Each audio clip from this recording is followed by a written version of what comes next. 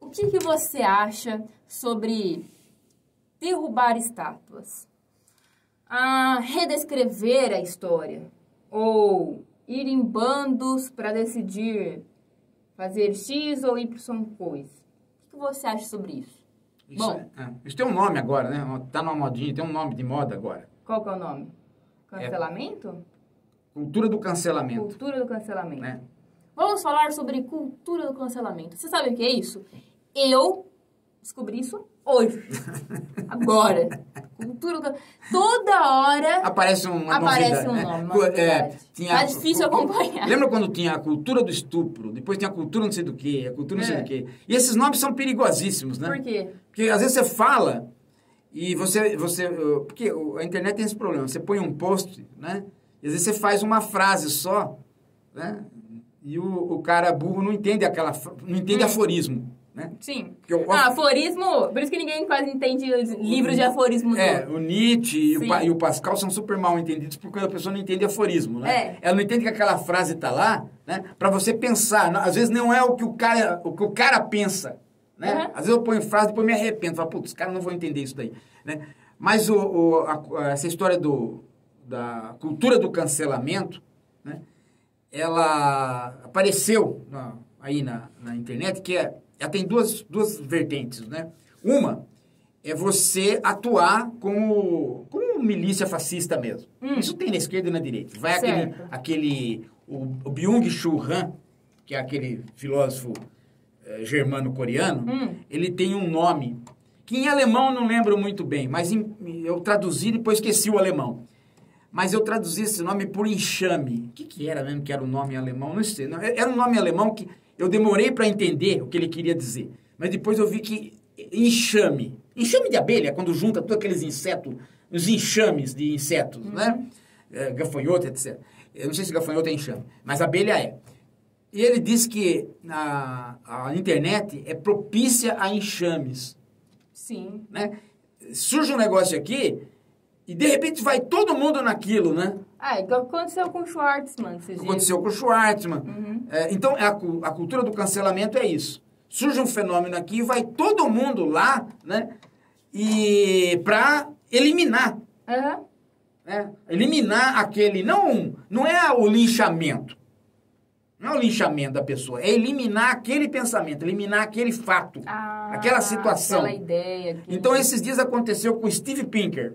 Hum, Você conhece o Steve Pinker? Não. Não, como você não conhece? Conhece sim. então explica. O Steve Pinker é aquele cara que é, é, discípulo do Chomsky e que é um dos poucos psicólogos atuais que ainda é inatista. Ele ainda acha que tem uma linguagem que, que é inata, né? É, e o Steve Pinker tem vários livros sobre neurologia, neurofisiologia, essas coisas aí meio misturada com psicologia comportamental. É, tem livros de política também. E Livro de. Bom, o livro dele aqui eu não tenho. Ele pode ser referência de algum desses que eu tenho, que eu uso. Você lembra dele, sim? Outro dia a gente até conversou sobre o Steve Pinker. Ele é um cara com um cabelo grisalho meio grandão, assim. E esses dias, ele fez uma frase, Tá. né? Onde faz par... a frase dele faz parte de um estudo dele sobre etnias e raças. Meu Deus do céu. O que, que foi a frase? Agora eu não lembro bem a frase, mas a frase dele é sobre ah, a importância e a desimportância do negro morto nos Estados Unidos. Hum.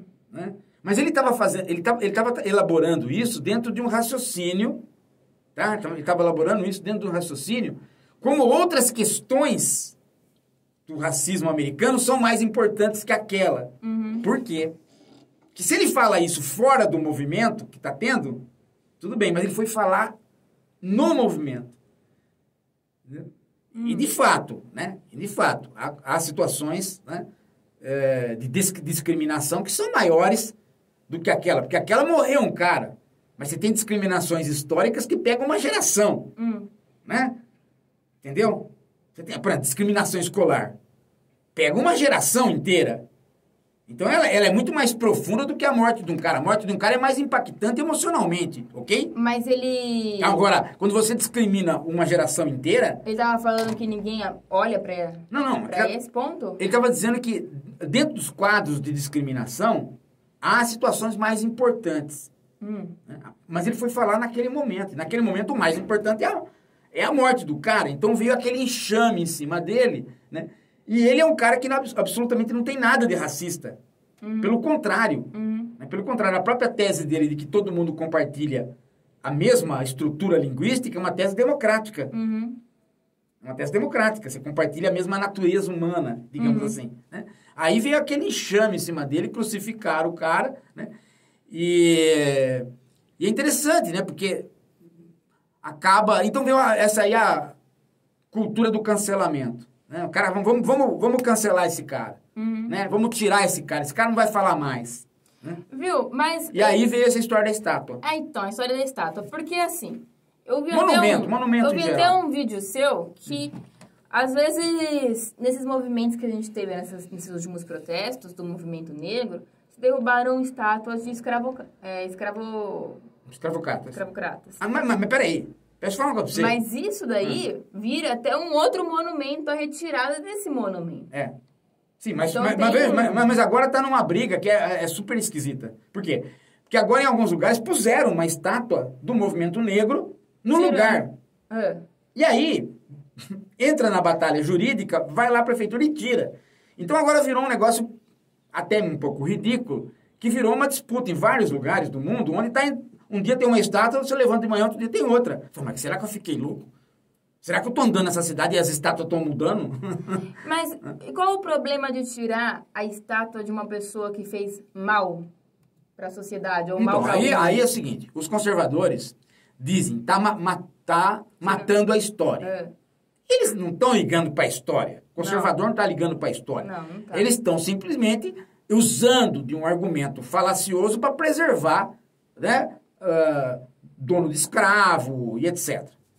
Ou também de não querer ver o povo indo lá e tirar Né? e... Agora, por outro lado, por outro lado, a maneira como a, a, a esquerda quer tirar as estátuas Hum, também é um pouco besta. por quê? Porque você tira uma estátua, e aí? O que, que, aconteceu? Nada. Você ficou com um buraco vazio que você vai pôr uma outra lá. O que, que, que, que isso gerou de aprendizado para as futuras gerações? Nada. Então talvez fosse interessante você né, eh, fazer o que fizeram lá em, em Wall Street. Hum, que que... Não tem aquele boi na frente do Wall Street, aquele Ah, touro lá, tem. né? Ah, Alguns, alguns arquitetos, tipo, de ca- né, alguns arquitetos, artistas, então, de vez em quando eles põem uma, um monumento na frente do boi. Ah, Então, durante um tempo, durante um certo tempo, apareceu, ficou uma menina lá. A menininha só aqui no, no boi, né? Ah. Desafiando Wall Street, né? Quer dizer, aquela figura frágil, né? Desafiando Wall Street. Então, muitas vezes, falta criatividade, né? Falta criatividade. Por exemplo, São Paulo. O que tem de estátua de bandido na cidade, não está escrito. que- Sabe, o que tem de estátua de escravocrata, dono de... Né? É, mas ninguém está ligando para isso. Agora, se você faz um- uma, publicação, um- uma publicação virtual, se você monta um grande site onde você percorreria a cidade explicando o que cada uma daquelas personalidades são, talvez fosse muito mais útil do que tirá-las. porque aí você ensinaria as pessoas... Porque aí você fica sabendo como é que a história percorreu. Sim. O simples tirar me parece ser uma coisa que não, não, não, Não tra- não traz ganho, não traz ganho. Veja só, tinha uma. Lá na. Existia uma, uma história, que eu acho até que contei essa história, não sei em que livro, Hum, que era ah, a história do. Existe uma, uma, uma estatueta. é, até eu contei essa história pra, por conta de uns conservadores fajutinhos que tem na internet que às vezes começam a querer me pegar. Qual a história? A história do beijo. Ah, Na em frente ao Largo São Francisco, ah, tem uma, uma garota, uma menina, um- praticamente uma púbere ou pré-púbere. Ela tem seios, mas é pré- pré-púbere. e, tem um cara beijando ela. Não sei se é um índio e tal. Hum. Não sei se ela é índia ou cara, agora não me lembro bem, mas essa estátua né, tá lá, né, em frente ao Largo de São Francisco. Se você pegar a história dessa estátua, você vai dar risada. Por quê? Por quê? Porque essa estátua ela foi posta num lugar na cidade de São Paulo, É. que não era lá. E ela tem a ver com o beijo, né? Que tem a ver com a história indígena e tal, patati patatá. Bom, aí, as senhoras, as senhoras do bairro Não gostaram. foram lá reclamar para o prefeito. Não sei se era que prefeito que era. O prefeito pegou, ficou com um saco cheio, né? Não, porque é pedofilia, olha que coisa sem vergonha, eu homem pegando a menina, né? O prefeito ia contar a história real para as velhas, mas desistiu. Falou, não, essas velhas não vão entender. É. Lá, tirou e pôs. Não. Ele falou, quer saber de uma coisa? Eu vou pôr numa via, porque aí não tem bairro e ninguém vai reclamar. Aí ele pôs numa via. É, e aí? Aí as pessoas que passavam, reuniram, Reclamavam. os motoristas reclamaram, foram lá no prefeito. Acho que foi o Jânio Quadros. O Jânio Quadros man- tirou, porque ele era meio conservador, meio moralista, e ele tirou. É. Guardou no porão da prefeitura. É. Essa estátua é famosa porque ela é de um italiano que doou para o Brasil. Então É. tem toda uma história arquitetônica. Né? Não vou contar agora porque é é uma história grande. Tá. Mas, tem- mas se vocês procurem na internet, vocês vão ver que tem toda uma história do cara que doou a estátua. É um artista famoso, fez uma doação para a cidade de São Paulo. Tem toda uma, né, uma questão arquitetônica aí. Eu sei que ficou lá na prefeitura perdida. Um tempão. Só depois de muito tempo é que resgataram essa estátua e aí puseram no lugar neutro, que é o Largo de São Francisco, onde fica a escola de direito. Ah. Porque a escola de direito, como ela protege as questões de direitos civis, ela não Então, vai né, reclamar é. com, com a estátua, né? Sim. É, mas Reclamaram ou não? Não, teve- até hoje não. Só, Tá só falta o Caio Coppola, que é formado lá, ou então a Janaína, ou então a. Janaína Pascoal, que dá aula lá, invocar. Ah, mas a Janaína, as preocupações dela é muito mais médicas, Médicas, ela- do que é, é. de história. É. Ela quer É. porque quer interferir na medicina. Na medicina. Há tempos ela tá fazendo isso. Mas esta, esta, depois de um certo tempo, voltaram com a polêmica, recentemente voltaram com a polêmica que aquilo lá é uma cena de pedofilia, como pode ficar na cidade de São Paulo. E aí, se não fosse a própria Faculdade de Direito começar a proteger o, o largo, tinha gente que ia lá depredar. Uhum. né? Então você veja que a história do cancelamento é, um- é uma, é uma história de ignorância, né? Porque se você, se você tivesse ali, né? ah, um, um- se São Paulo tivesse hoje né, um aparato virtual para explicar essas histórias, que são inclusive eh, folclóricas, né? E as pessoas gostam dessas histórias. Né? É, seria muito útil. A- a você estaria andando pela cidade e você com o seu celular, né, no site, sabe, seria uma. A todo momento seria uma viagem interessantíssima na história. Né? Se você tivesse isso no seu celular. São Paulo tem uma viagem à noite para os cemitérios. É, Sério? É, você vai pros- você pode pegar, é uma viagem turística da cidade de São Paulo. Você vai para um cemitério e tem um guia que explica os túmulos, explica o cemitério.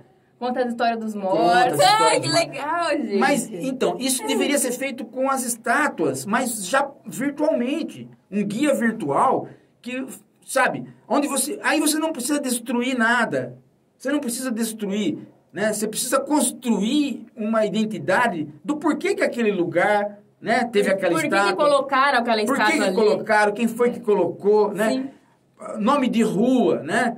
É, então, Por que que esse... então eu acho que, eu acho que falta no mundo todo uma Porque certa educa, é, né? uma, uma certa capacidade de criar.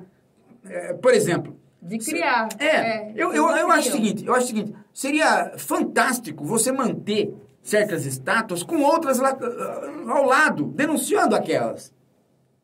Né? Como a questão da, da- do boi, lá do touro, lá de Wall Street, com a menina. Sim. Né? Ou como o Bansky faz Sim. né? O Bansky faz muito isso, né? É, de construir pichações e murais que, que são denunciativos de situações que estão ali, às vezes, né? Às vezes ele constrói um- uma criança é, no- ah, pondo um guarda assim na parede, né? A criança ah, examinando o guarda, né? Porque ali naquele lugar é lugar das guardas examinarem crianças muitas vezes. Então ele inverte a situação e, e grava ali, né? Ninguém tem coragem de apagar o, o o Bank, o, o Bansk, né?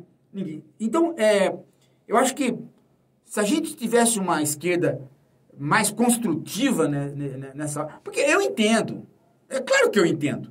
Se alguém fizer uma estátua, é, uma estátua que ofende a, a, toda hora que eu passar ali eu vejo, né, que nem eu, todo dia que eu passava naquela rua, chamada Rua Fleury, né, Fleury, a, o Fleury torturador da, da torturador da ditadura militar, é. o delegado Fleury, né?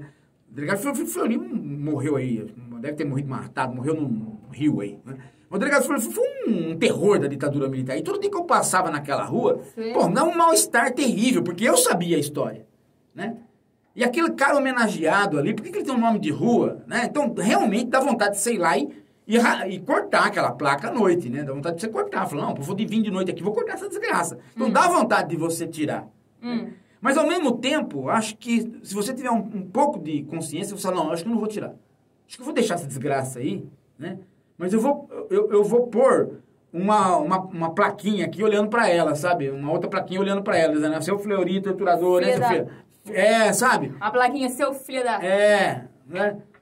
Talvez isso seja muito mais porque aí as pessoas é. vão realmente saber que ele era isso, isso, é, isso aquilo. É, Só tirar sabe? não...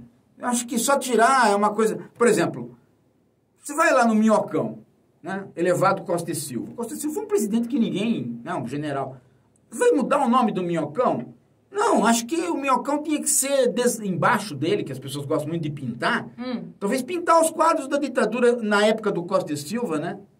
pintar tudo embaixo do minhocão, as torturas, né? Uma por uma, né? No, do, do, do, período Costa e Silva, né? Até o Costa e Silva tem até uma música, né? Que o Chico Buarque fez para ele, né? Uhum. Vai passar, né? Legal, eu gostei dessa conversa. O que, que, você acha? Não, eu, eu gostei dessa conversa. Eu gostei, eu gostei. É claro que você vai falar isso para algumas pessoas que sofreram na pele e vê lá o seu opressor, talvez não seja muito interessante.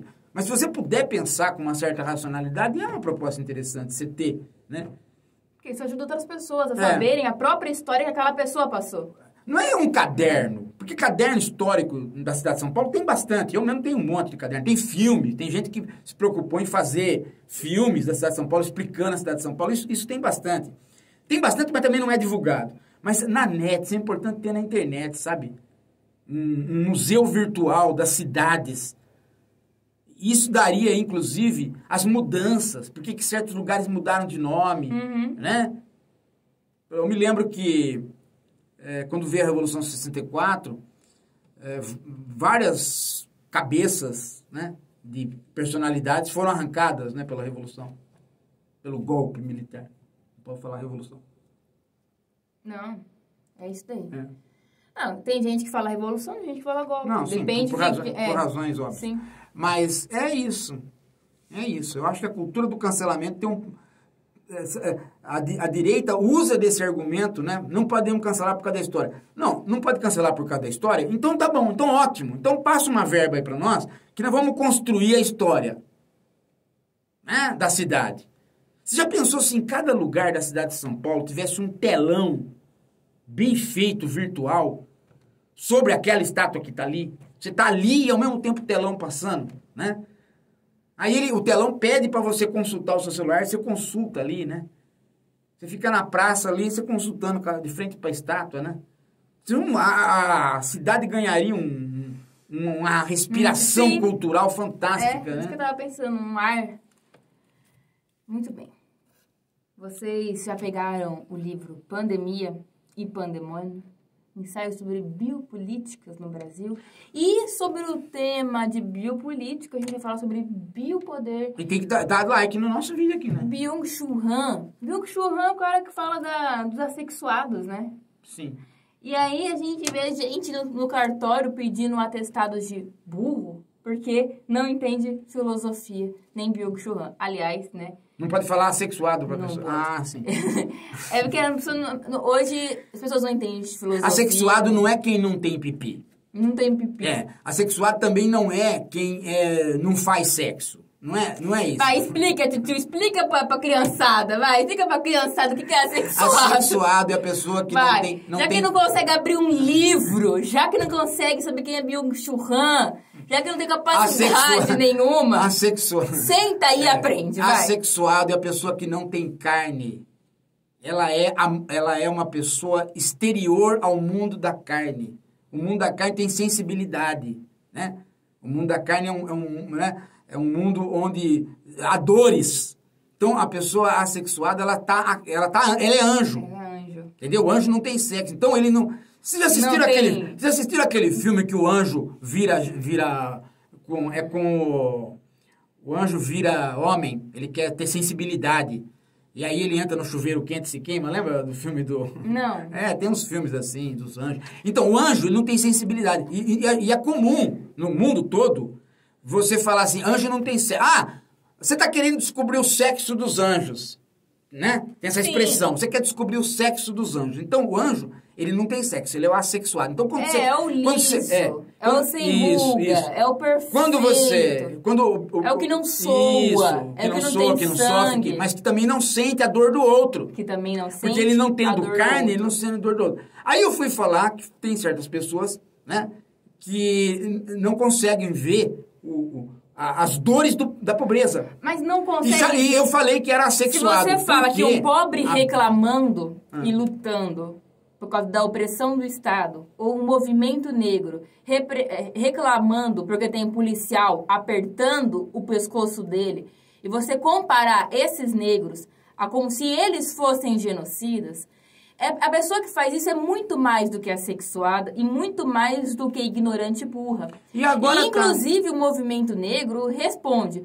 Mas tem uma pseudo-esquerda que de esquerda não tem nada. Pode ir junto com o Bolsonaro e se abraçarem e fazerem a ciranda. É. Não, e agora? Agora tá, na, tá, nessa, tá nessa história. As pessoas veem uma coisa, né? Não entendem, não procuram estudar, saber o que, que é, mas já se posiciona contra. Ah, é o mundo da internet. Assim. E, e eu tô vendo isso. no- Deixa, porque né? aí essas pessoas mostram que elas são burras. E eu tô, mas eu tô, mas a minha preocupação é que eu tô vendo isso eh, em gente jovem, né? Gente que poderia estar Poderia aprendendo, tá aprendendo. mas não quer. Não quer. Não quer. Então, é uma coisa tão comum. Já que você... Não, não, peraí, deixa eu falar uma coisa pra você. Isso era comum na assim, o ah, sexo dos anjos. Ah, fulano tal é um anjinho, porque ele não tem... É que hoje Agora, tem... nem isso você pode falar. É que hoje você não pode falar nada. Tem a, a patrulha. É Os uma militudo. Não Isso pode, aí, tem não. que falar galera, tem que falar minix. Mas isso daí... tá- Minix. Você falou assexuado. Não pode. Não posso. Dá a mãozinha aqui. É o ministro da Educação, vai bater em mim. Uh. É o ministro da Educação, porque não pode, a criança não pode aprender sem dor. É. Vai bater em mim. Eu Viu? bater em você. Mas o que eu tava falando pra você... Não pode falar É. isso aqui. Mas o que eu tava falando pra você é o seguinte, Mariana, é que Hum. é, o, o gozado dessa história é que a pessoa não, ela não, ela fala assim, ela, ela não pensa, né? Não, Assim, assim, por que, que ele falou assexuado? Né? Falta. Não, não, eu sei, mas por que, não, porque eu, quando uma pessoa fala uma coisa estranha, a primeira coisa que vem na minha cabeça é, É por que, que ele falou isso? Mas é o pensamento do gado. Aí o cara, ele não fala por que, que ele falou isso. Ele fala assim, olha, ele falou assexuado. É o gado. Entendeu? E aí ele vai... Ele, não, ele nunca pergunta por que, que o cara falou isso. Ele já vai direto no, no, no, no, preconceito dele, né? É. Eu fico triste quando eu é vejo isso, daí, né? É o, que eu chamo de youtuber mirim. Viu? Aí você vai jogar um. Vou jogar um cérebro.